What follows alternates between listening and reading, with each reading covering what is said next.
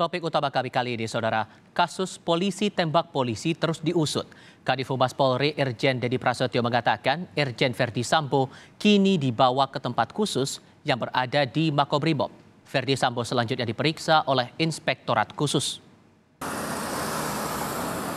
Irjen Dedi Prasetyo menyebut pemeriksaan di Makobrimob di Kelapa II Depok, Jawa Barat untuk menindaklanjuti 25 personel Polri yang diduga melakukan pelanggaran kode etik terkait penanganan TKP dalam peristiwa yang menewaskan Brigadir Yosua pada 8 Juli lalu.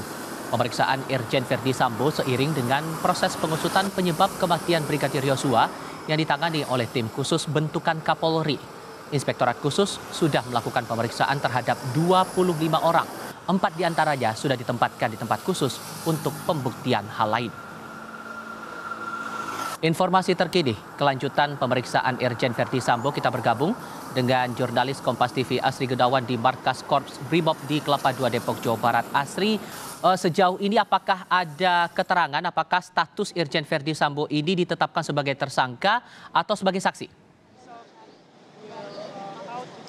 Kami sudah mengonfirmasi kepada Kadif Humas Polri Irjen Dedi Prasetyo, sampai saat ini status dari Irjen Ferdi Sambo adalah sebagai saksi atas kasus dugaan pembunuhan Brigadir Yosua Huta Barat. Kemudian juga dalam keterangan pers kemarin Irjen Dedi Prasetyo menyampaikan eh, sekaligus juga meluruskan terkait dengan isu yang bertebaran di lapangan.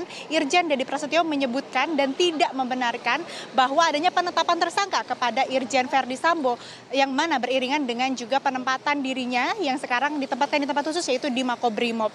Irjen Dedi Prasetyo pun menyebut bahwa penempatan dari Irjen Verdi Sambo di Makobrimob ini tak lain adalah untuk menjalani pemeriksaan yang akan dilakukan oleh Inspektorat Khusus terkait dengan pelanggaran etik yang diduga bahwa Irjen Verdi Sambo ini uh, melakukan ketidakprofesionalitasannya dalam uh, menangani olah TKP di rumah dinas uh, di kawasan Duren 3 Jakarta Selatan. Tifal. Nah, tadi Anda katakan bahwa statusnya masih sebagai saksi, ini mendalami sikap tidak profesional dalam penanganan kasus, terutama di TKP. Jadi sebetulnya bentuk pelanggaran kode etik seperti apa yang diduga dilanggar oleh Irjen Verdi Sambo ini?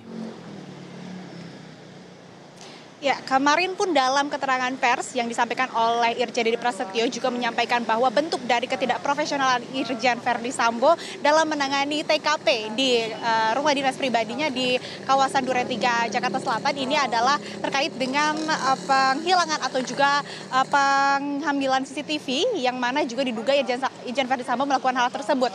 Terus juga ada beberapa terkait dengan uh, penghilangan barang bukti lainnya, namun dalam hal ini juga belum disebutkan secara rinci oleh pihak kepolisian khususnya oleh Kadif Humas Polri Irjen Dedi Prasetyo. Kemudian juga kabar Eskrim Polri telah menyebut bahwa penghilangan atau juga perusakan dari barang bukti ini tentunya dapat uh, menghambat dari proses penyelidikan maupun juga penyidikan terkait dengan kasus uh, kematian atau pembunuhan yang uh, menyebabkan tewasnya Brigadir Yosua.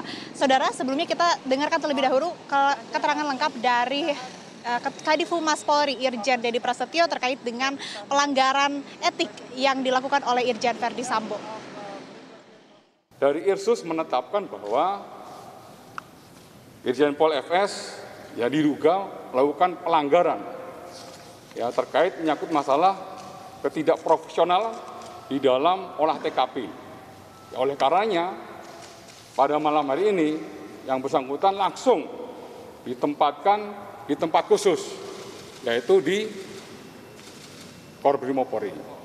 Irsus fokusnya menyangkut masalah pelanggaran kode etik. Kalau tim sus kerjanya adalah proses pembuktian secara ilmiah.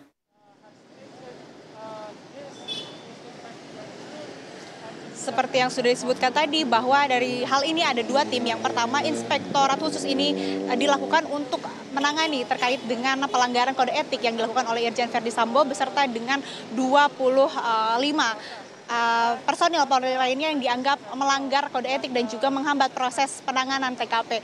Namun juga terkait dengan apa saja poin-poin dalam pelanggaran kode etik tersebut dari pihak kepolisian belum uh, merilis secara resmi terkait apa saja poin-poin tersebut dan ini menjadi hal yang kita tunggu hingga sekarang yang nantinya juga akan dirilis oleh uh, Polri apabila seluruh pemeriksaan yang ada terkait dengan pelanggaran kode etik ini sudah selesai dilaksanakan atau su sudah rampung dilakukan oleh pihak dari Inspektorat Khusus. Maka bisa dikatakankah semua orang yang diduga terlibat dalam insiden ini bakal diperiksa di Makobrimob termasuk tersangka Barada Eliezer?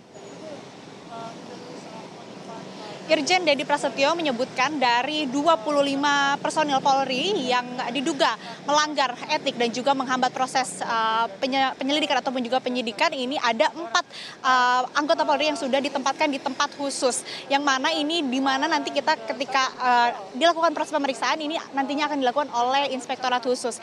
Namun terkait dengan posisi dari Barada Eliezer saat ini posisinya berada di rutan Bareskrim yang mana masih menjalani proses pemeriksaan oleh tim khusus terkait dengan juga pengumpulan fakta-fakta dalam kejadian pada 8 Juli lalu di rumah dinas uh, mantan Kadif Propam Polri Irjen Verdi Sambo. Kemudian juga terkait dengan waktu pemeriksaan terhadap Irjen Verdi Sambo dan juga personil Polri lainnya di Makobrimob ini berdasarkan peraturan Kapolri nomor 19 tahun 2012 menyebutkan bahwa paling lambat 30 hari kerja nantinya akan dijatuhkan putusan terhadap uh, Irjen Sambo yang sedang diperiksa ini sehingga kita tunggu nanti bagaimana hasilnya terkait dengan hasil dari sidang kode etik yang dilakukan oleh inspektorat khusus di Makobrimob ini. Kemudian juga terkait dengan nanti hasilnya ini akan ada dua kemungkinan. Yang pertama kemungkinan akan uh, terbukti secara sah bahwa dirinya melakukan pelanggaran kode etik yang nantinya juga akan dijatuhi sanksi yang sudah diatur dalam peraturan Kapolri, Kapolri nomor 14 tahun 2011. Kemudian juga nanti apabila tidak terbukti